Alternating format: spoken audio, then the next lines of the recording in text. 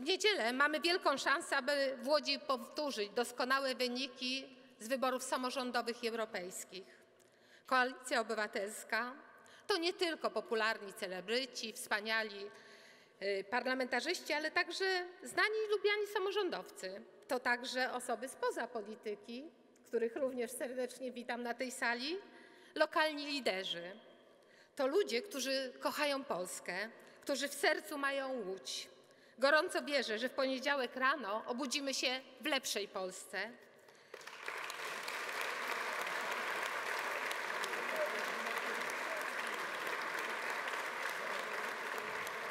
Przyjaznej, tolerancyjnej i uśmiechniętej, w której każdy z nas będzie czuł jak w naszym rodzinnym domu, do którego tak przywykliśmy. W Polsce, której czeka nas dużo pracy, bo jest dużo do naprawy.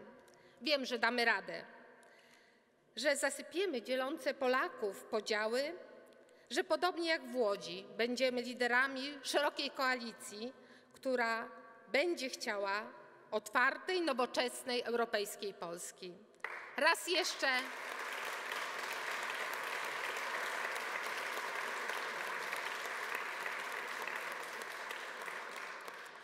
trzymam kciuki, bardzo mocno kciuki za mnie, za Łódź, za nas wszystkich. Zawsze możecie na mnie liczyć, zawsze możecie liczyć na Łódź, zawsze razem wygrywamy i tak będzie teraz. Dziękuję bardzo.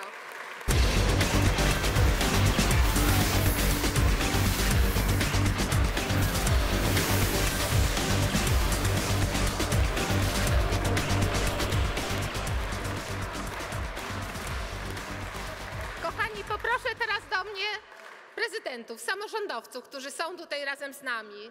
Bardzo proszę Rafała Trzaskowskiego, poproszę Jacka Jaśkowiaka, poproszę Jacka Karnowskiego, poproszę Tadeusza Truskolaskiego. Mamy dla Was wspólne przesłanie. Bardzo proszę. Słuchajcie, drodzy kochani, tutaj właśnie w Łodzi się zbieramy. Przede wszystkim, żeby powiedzieć Wam jedną rzecz, a mianowicie te wybory, które już w niedzielę są niesłychanie istotne i potrzebna jest totalna mobilizacja. I dlatego myśmy się włączyli do takiej akcji Idziemy na rekord. Idziemy na rekord, dlatego że chcemy, żeby mobilizacja była dokładnie taka jak w wyborach samorządowych, albo nawet wyższa. I w związku z tym też my tutaj będziemy się ścigać, w którym mieście ta mobilizacja będzie najwyższa.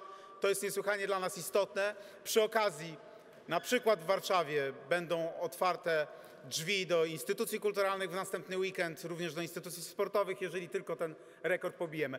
Ale chciałem Wam powiedzieć kilka istotnych rzeczy, a mianowicie pamiętajcie o jednym, że można mieć 500 plus i mieć również edukację bez chaosu i szacunek dla nauczycieli. Można mieć 500 plus, ale można również mieć czyste powietrze. Ja właśnie, słuchajcie, wracam, byłem jeden dzień na szczycie miast klimatycznym. I tam niestety polski rząd pokazywany jest razem z nowym prezydentem Brazylii, który wyciela, wycina Amazonię i z tymi, którzy mówią, że nie ma ocieplenia klimatycznego. A my musimy coś z tym fantem zrobić. Można mieć, słuchajcie, 500 plus i można mieć wolną kulturę. Wolną kulturę, w której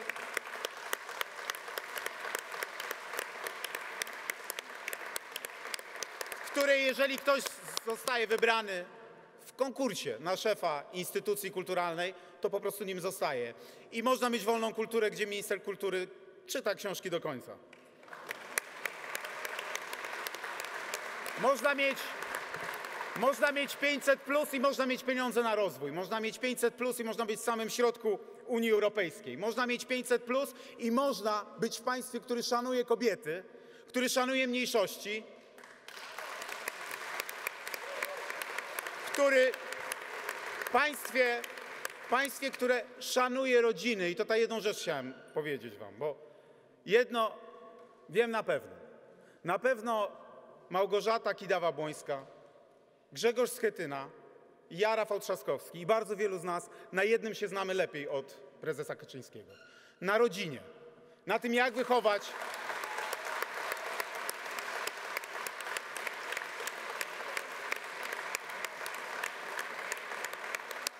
na tym, jak wychować nasze dzieci, żeby były patriotami, żeby były tolerancyjne i żeby były przez cały czas uśmiechnięte. I na końcu, słuchajcie, można mieć 500 plus i można mieć również niezależne państwo, które jest zbudowane dla wszystkich, a nie dla jakiejś nowej elity, które nie szczuje i które nie piętnuje. Także można mieć jedno i drugie. I dlatego, słuchajcie, musicie wszyscy iść na wybory już w niedzielę. I zapewniam was, że będziemy, że będziemy mieli naprawdę dobre humory w niedzielę. Idźmy na rekord.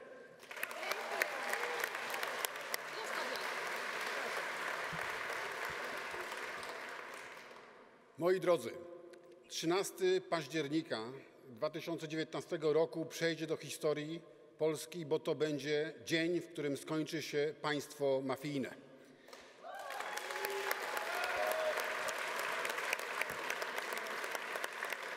Mafijne państwo, które przy pomocy mediów publicznych, w szczególności telewizji polskiej, prowadziło nagonkę na samorządowców, nagonkę, która doprowadziła do śmierci Pawła Adamowicza, bo byłby dzisiaj razem z nami.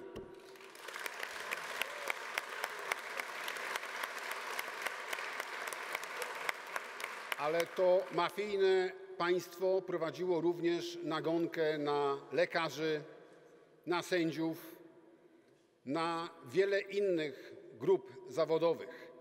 Wykazywało absolutny brak szacunku dla niepełnosprawnych, dla osób o innej orientacji seksualnej. I mam nadzieję, że będziecie wiedzieli, Małgosiu, będziecie wiedzieli, wiedzieli Grzegorzu, co zrobić z tymi mafiozami, bo ich miejsce jest nie w ministerstwach, ich miejsce jest tam, gdzie powinni być i mam nadzieję, że Grzegorz No Mercy z Chetyna będzie wiedział, jak ich tam doprowadzić. Dziękuję. Tadeusz Truskolaski, proszę. Szanowni Państwo, mam minutę, czyli 60 sekund. Być może to najważniejsza minuta w moim życiu. W związku z tym przez minutę nie da się wyliczyć 100 afer PiSu, więc nie będę mówił o KRS-ie, Trybunale Konstytucyjnym, wieżach, e, domach na e, godziny e, czy innych tego typu wydarzeniach. Chcę powiedzieć, że ja, jak mało kto, wiem, co to jest PiS, dlatego że w poprzedniej kadencji PiS miał większość w Radzie Miasta. I ja spotkałem się z nienawiścią, kłamstwami, ze wszystkim tym, co jest najgorsze, co miało doprowadzić do tego, żeby mnie zniszczyć, z doniesieniami do prokuratury i tak dalej. Ale, proszę Państwa, rok temu wyborcy naszego miasta zadecydowali, że PiS wyszedł z naszej Rady Miejskiej, że już nie ma większości. Dlatego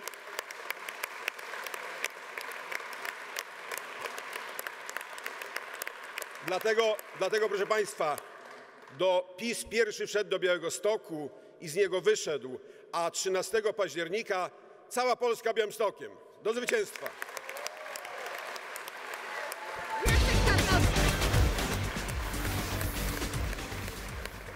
Dzień dobry, moi drodzy. My, samorządowcy, wójtowie, burmistrzowie, prezydenci miast, jak nikt inny wiemy, jak mobilizować naszą społeczność lokalną. Na co dzień, żeby wspólnie z nami podejmowała decyzje, na przykład czy budować park, czy postawić ławkę, ale to nie jest dane raz na zawsze. Możemy już nie móc mobilizować naszych wspólnot lokalnych, bo o tym, czy budować park, czy opalać węglem, będzie decydował kacyk partyjny, a nie wspólnota lokalna. O tym będą decydowały tak zwane media publiczne, które sieją nienawiść, które prowadzą do tego, że na naszych ulicach niejednokrotnie dochodzi do bujek albo do tego, że policja w rysztunku musi rozdzielać Polaków, albo dochodzi to, o czym mówił Jacek Jaśkowiak, do śmierci prezydenta miasta. My chcemy Polski zielonej, Polski nowoczesnej, Polski solidarnej, Polski dobrej, Polski tolerancyjnej, Polski otwartej dla niepełnosprawnych. Chcemy Polski, gdzie środki unijne nie trafiają do agencji towarzyskich, a trafiają do samorządów. Chcemy Polski,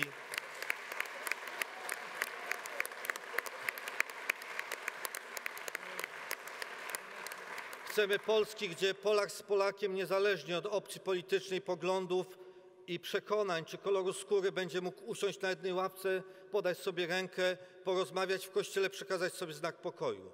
Takiej Polski chcemy, dlatego zapraszamy wszystkich. Chodźcie na wybory, to są najważniejsze wybory w waszym życiu. Wszyscy spotkamy się 13 października przy urnach. Dziękuję bardzo. I jeszcze Rafał Trzaskowski. A tu w Łodzi, a tu w Łodzi, słuchajcie, macie super listy. Tomasz Zimoch, Cezary Grabarczyk i Cezary Tomczyk.